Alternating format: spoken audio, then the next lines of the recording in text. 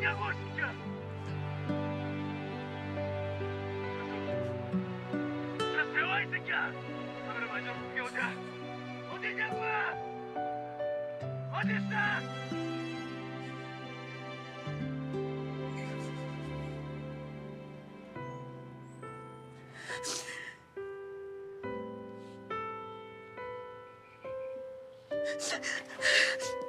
아이 껌딱지.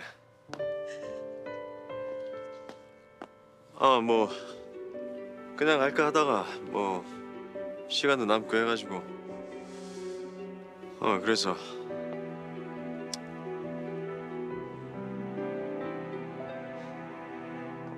잘 지내? 간다.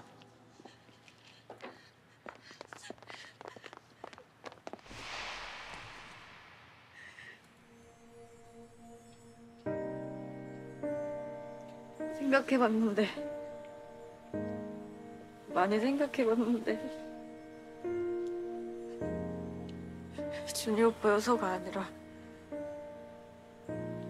그게 당신이라 좋았어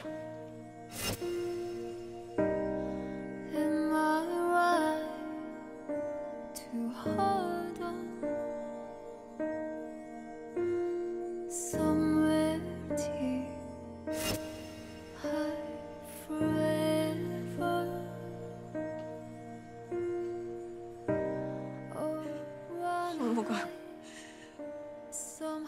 당신이라서 좋았다고요.